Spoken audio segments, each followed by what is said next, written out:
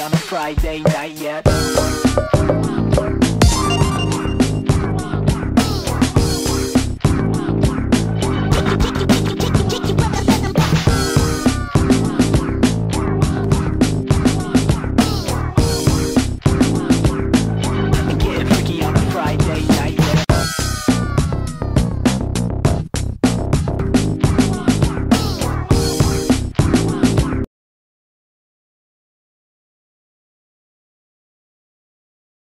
Three, two, one.